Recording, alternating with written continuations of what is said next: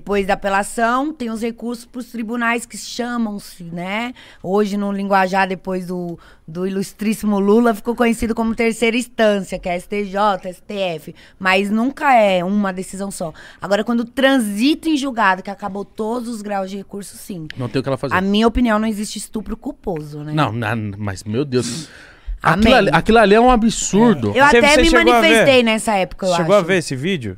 Da, Não. da... Porra, você não viu? É, da Marina... Não, não, não, da audiência. Ô, essa audiência é de você assistir e ficar mal, mano. Ô, é sério? Falaram que teve meio que um constrangimento, Sim, né? meio, Com ela que era muito. vítima, eu não assisti. Sim, o- Eu não consigo fazer audiência. Eu não faço estupro, tá? Eu não faço estupro, violência contra criança, nem contra o idoso. É, eu rejeito muitos casos disso no meu escritório. Não critico os colegas que fazem. Tenho muitos amigos que fazem, que é pelo amor à direito, advocacia, ou que precisa financeiramente. Eu não, nunca fiz. Nem na minha época de garimpo, nem no meu primeiro ano de faculdade chegou um estupro pra eu fazer e eu não fiz. Eu não tenho estômago pra isso. Violência contra idoso, ou mesmo que não seja estupro, mas violência contra criança, matricídio, filho que mata a mãe. É, cara, eu, eu, eu, eu sei lá, eu não sei o que é. Eu vejo meu filho tomando vacina, minha pressão baixa. Eu tava lá no hospital com a minha avó, fui ajudar a levantar a minha pressão baixa. Então, eu não sei o que é isso em mim. Eu sei que eu não consigo fazer. É, eu fiquei me E se eu perguntando. participar de uma audiência de- dessa, mesmo por ela, que é vítima, seria assistência da acusação, né? Eu tenho certeza que se você se fosse uma audiência presencial, você tinha voado no advogado. Porque ele falava assim: olha as roupas que você usava. Isso é, jeito Ah, de se sim. vestir. Mano, e a menina se- sendo não acuada, Olha as fotos caráter, no seu né? Instagram, não sei o quê. Tipo, chamando ela de puta sem falar que ela era puta, entendeu? Então, já ela o processar. chorando. É, então, ela já poderia processar ele, né? Eu acho que com certeza processou, não é possível. Sim. Foi uma, muito Eu processei feio, um essa semana também. Um jornalista. Ah, Por causa de abuso? Né? É, é abuso de, da minha imagem, né? Abuso dele. Eu, eu odeio esse cara, eu não vou nem falar o nome dele, porque ele tinha 80 mil seguidores. Começou a falar de mim pra ganhar a roupa, já tá com 300 e pouco. Caralho. Maldito. Não sei se vocês viram um cara. Porra, eu tava almoçando, cara.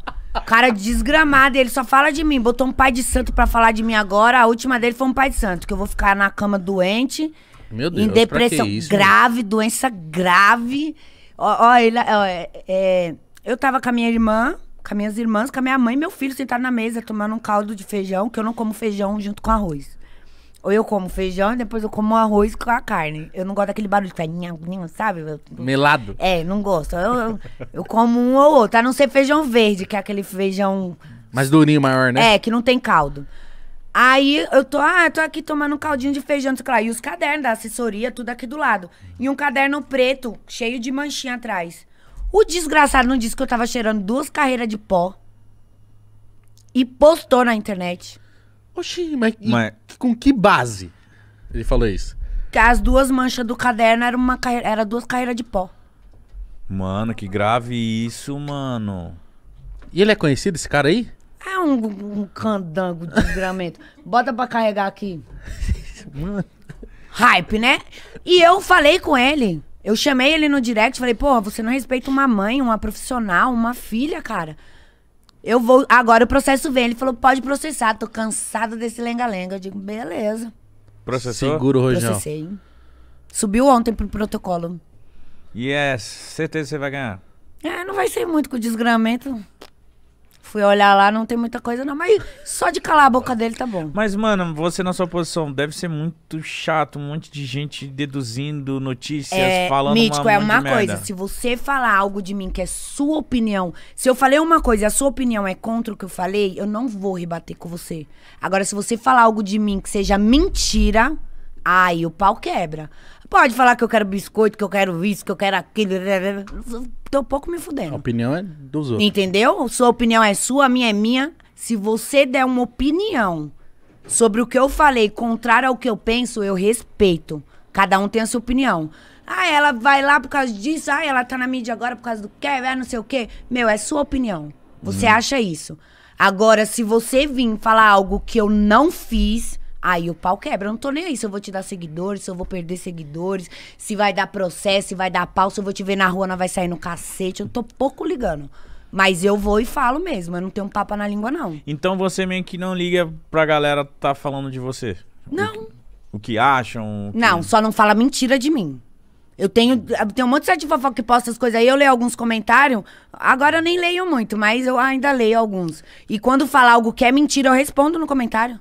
Eu já vi umas paradas Sim, disso. eu. Que eles vão, eles vão e postam. Eles postam a notícia Só que eles dela. apagam rápido quando eu respondo. Não sei porquê. É que o processo chega, Não, né? não é nem de processo. Eu vou sair processando Deus e o mundo, eu tô lascada, meu filho. Eu não gosto de problema, não. Eu corro de problema. A não ser quando fere a minha honra, a minha dignidade, meu profissional. Porra, como você coloca no seu portal de notícias que eu tô cheirando cocaína com meus filhos, minhas irmãs, numa mesa onde eu tô almoçando? Entendeu? Cara, tenha, eu falei pra ele, tenha princípios, tenha honra. Eu quebrei o pau com bate lá, dei uma- um furo de reportagem pra ele, ridícula. Eu falei pra ele, hoje em dia a gente conversa. Ele falou, você tem que entender que sou jornalista. Eu falei, bate, é uma coisa, eu respeito sua profissão de jornalista e eu quero que você respeite a minha de advogada. Você pode soltar a notícia que, você, que for. Você só não pode é, vincular terceiros a mim, que não existe vínculo. Entendeu? Vínculo profissional com vínculo pessoal é totalmente diferente. Então, não, não, não, você vai dar uma notícia de alguém. é, igual ele deu um furo de reportagem de uma pessoa que eu me relacionei há 13 anos atrás. Com a minha foto é do Kevin do lado? Porra, qual o interesse nisso? Ah, eu prendi tal pessoa. Bota foto da cara da pessoa, não pedi pra você não dar reportagem, não. Só não põe a minha foto, é do Kevin. O que, que nós dois temos a ver? Todo mundo que ele prende, ele põe do lado a foto do advogado? Ah, é porque ela tá negando que não tem vínculo, mas olha quem é advogada. Tá, mas qual é o vínculo? Advogar é vínculo pessoal? Eu, eu, eu cometi o crime com a pessoa? Entendeu? Então eu não quero isso.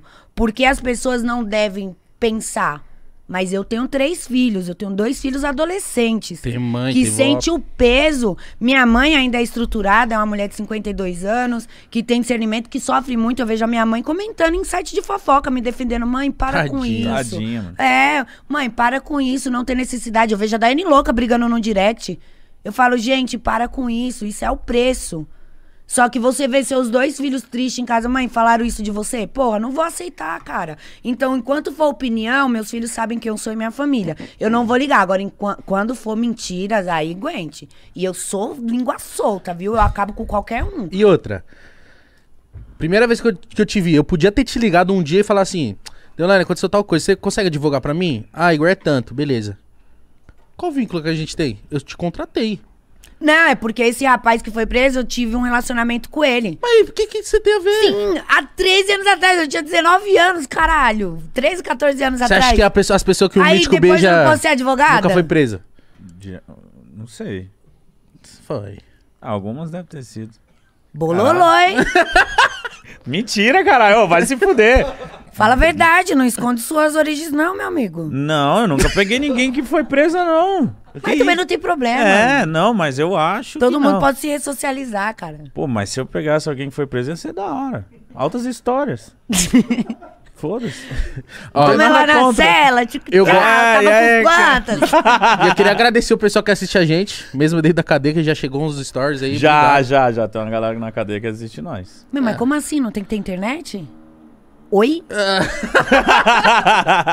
Deolane saiu do grupo.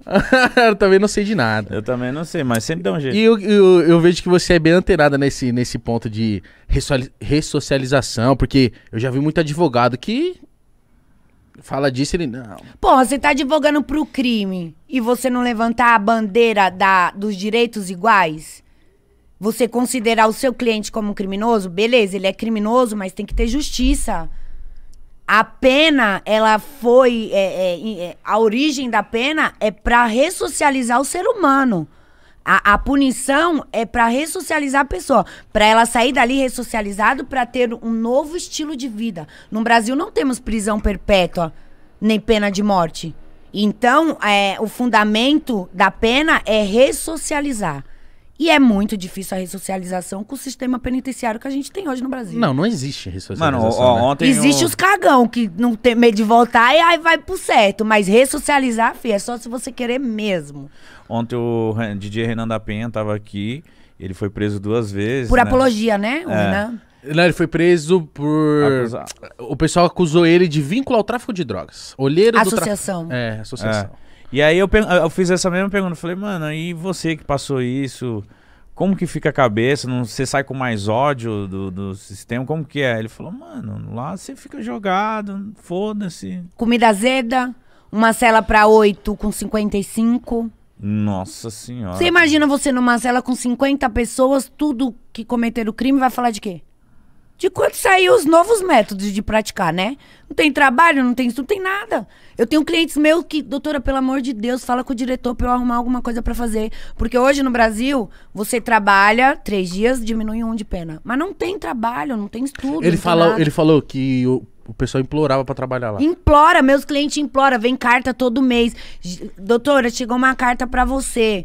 É, eu vou ler, doutora, pelo amor de Deus, é, arruma, é, pede pro diretor me colocar na cozinha, lá fora, não sei o que, alguma coisa. Quer eu ocupar a preciso- cabeça também, né? Ocupar a cabeça.